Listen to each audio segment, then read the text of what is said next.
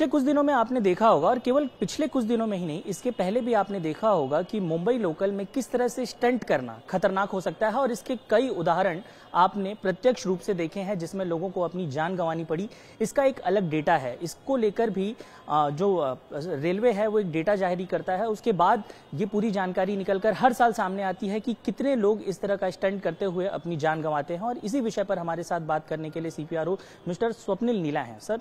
आपसे सबसे पहला सवाल यही होगा कि जिस तरह से लोग स्टंट करते हैं, रेलवे कई बार ऐसी मुहिम चलाता है जिसमें कोशिश की जाती है कि लोगों को समझाया जा सके, उसके बावजूद ऐसी घटनाएँ आती हैं। इसको लेकर फ़िलहाल रेलवे क्या काम कर रहा है और आपकी क्या प्रतिक्रिया होगी? देखिए, इसमें हम लोग बार बार सभी यात्रियों से ये निवेदन करते हैं कि कृपया करके ऐसे किसी भी स्टंट में ना इन्वॉल्व हो। ऐसा होता है, सिर्फ़ केवल स्टंटबाजी ही नहीं, इसके अलावा भी, जैसे फुटबोर्ड के ऊपर ट्रैवल करना या उसी के साथ में वीडियोग्राफी करने के लिए, ऐसा होता है कि कोई एक बंदा स्टंट कर रहा होता है और उसके साथ ही उसका कोई वीडियोग्राफी कर रहा होता है। उस वीडियोग्राफी करते समय भी उसका ध्यान स्टंट करने वाले के ऊपर होता है। ऐसे में दोनों की जान को ये खतरा होता है और उसी के साथ में दोनों को जान के खतरे के साथ ही अपाहिज होने का या कोई बड़ी इंजरी होने का या किसी और घटना में इन्वॉल्व होने की ये हमेशा संभावनाएँ लगी होती है। इसलिए मध्य रेलवे हमेशा ये सभी लोगों से आह्वान करती रहती है कि कृपया करके ऐसे किसी भी स्टंट को परफॉर्म ना करें, जिससे कि आपकी अपनी सुरक्षा और उसी के साथ में ट्रेन और ट्रेन में यात्रा कर रहे हैं बाकी यात्रियों की जो सुरक्षा होती है, वो खतरे में पड़ती है। इससे ये होता है, कई बार ऐसे भी स्टंट लोगों को करते हुए देखा गया है, जिससे वो पूरी ज़िंदगी भर के लिए अपाहिज हुए हैं, जो कि रिसेंटली एक हमारे पास में एक स्टंट करने वाले व्यक्ति थे। उन्होंने एक दो स्टंट उनके इंस्टाग्राम पे भी डाले गए। उसके बाद में हम लोगों ने उनके बारे में सर्च किया। तो हमें वो क्षतिग्रस्त हालत में बाद में मिले और उसके बाद में ये पता चला कि एक देखिए मोमेंट्री फेम होता है। आपको इंस्टाग्राम में लाइक्स के चक्कर में या फेसबुक पे लाइक्स के चक्कर में ये कोई चीज़ की जाती है और उसका लॉन्ग टर्म में आपको और आपके पूरे परिवार को खामियाजा भुगतना पड़ता है। इसलिए हम लोग बार बार सभी से ये विनती करते हैं, कृपया ऐसे किसी भी स्टंट में इन्वॉल्व भी ना हो और ऐसे किसी भी स्टंट को बढ़ावा भी ना दें। हम एट लार्ज सारे लोगों को भी ये निवेदन करते हैं कि कृपया ऐसे जो स्टंट्स आते हैं, इनको लाइक और कमेंट करके ऐसे स्टंट को आप एक तरह से अप्रत्याशित रूप से बढ़ावा दे रहे हैं। तो कृपया वो भी ना करें। ऐसे स्टंट के ऊपर कमेंट या लाइक करके या अच्छे कमेंट करके आप कहीं ना कहीं ऐसे स्टंट करने वालों को, ऐसे स्टंट फिर से करने के लिए प्रोत्साहित करते हैं। उसी के साथ साथ में उनको वो जो लाइक्स मिलते हैं, उसका जो मोमेंट्री फेम होता है, उससे भी वो खुद की जान को और बाकी यात्रियों की जान को खतरा पैदा कर सकते हैं। तो हम लोगों की ये विनती दोनों से है। जो स्टंट कर रहे हैं उनसे भी और जो स्टंट्स को लाइक कर रहे हैं उसको व्यू कर रहे हैं उनसे भी ये हमारी विनती है कि कृपया ऐसे कोई भी स्टंट ना करें जिसके चलते आपकी जान को और बाकी यात्रियों की जान को खतरा पैदा हो सकता है। हाँ सर कानूनी रूप से सजा को लेकर क्या प्रावधान है? क्योंकि ऐसे लोग केवल अपने लिए नहीं समाज के लिए भी कहीं ना कहीं हानिकारक हो सकते हैं अन्य लोगों को भी परेशानी हो सकती है।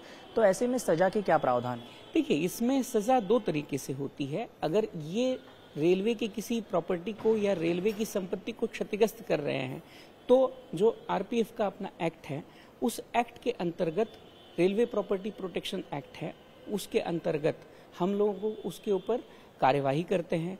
जैसे कुछ स्टंट्समैन ये होते हैं कि जो रेलवे की सुरक्षा को भंग करने का प्रयास करते हैं, कहीं ट्रैक पे कुछ रखने या ऐसी हरकतें भी करते हैं, ऐसे सारे इनको हम लोग भारतीय न्याय संहिता के अंतर्गत और आरपीएफ एक्ट के अंतर्गत, रेलवे एक्ट के अंतर्गत इनको हम लोग पनिशमेंट देते हैं। इसमें अलग अलग सजा के प्राविधान हैं डिपेंडिंग अपॉन उन्होंने जो हरकत की है या जो गलती की है उसके अनुसार। किंतु बहुत सारी ऐसी भी घटनाएँ होती हैं जिसमें ये खुद को क्षतिग्रस्त करने के लिए रहते हैं और गलत फहमियाँ या गलत संदेश लोगों तक पहुंचाते हैं। इसमें भी हम लोग उनको समझ देना। कई बार आपने देखा होगा, कई बार जिन्होंने ऐसी हानिकारक रील्स बनाई हैं, वो खुद ही फिर अपने हैंडल पे माफ़ी मांगने वाला रील डालते हैं, या उनको एडमोनिशन किया जाता है, या उनके हैंडल से वो वीडियोस रिमूव किए जाते हैं, या उनके साथ ही साथ में उनको समझ दी जाती है, हैंडल सस्पेंड किए जाते हैं। ये कार्रवाई भी हम लोग करते हैं ताकि हम लोग बाकी व्यक्तियों को या बाकी लोगों को ये आइडिया ना दे कि ये आपको इंस्टेंट फ़ेमस बनने का कोई तरीका है। जिसके चलते आपकी खुद की जान को रेलवे की संपत्ति को और उसी के साथ में आपके साथ यात्रा करने वाले बाकी यात्रियों को दिक्कत ना पहुँचे। सर आखिरी सवाल है इंडिया टीवी के माध्यम से करोड़ों युवा जो इस तरह के स्टंट करते हैं या उसको प्रोत्साहित करते हैं सुन रहे होंगे उनके लिए क्या आखिरी मैसेज होगा? देखिए हम अपने आप को स्वामी विवेकानंद की भूमि बोलते हैं। इसमें हमें इंस्टेंटेनियस ग्रेटिफिकेशन या तुरंत जो प्रभाव से जो चीज़ें मिलती है, उनके ऊपर फोकस ना करते हुए सच में एक समझदारी भरी और एक लॉन्ग टर्म इम्प्रूवमेंट वाली चीज़ें हमें करनी चाहिए। मेरा, मेरी ये उम्मीद और उसी के साथ में पूरा विश्वास है कि जो लोग अब भी हम लोगों के साथ में जुड़े हुए हैं, वो ऐसे किसी भी स्टंट में या ऐसे किसी भी प्रकार के इशू में पार्टिसिपेट नहीं करेंगे।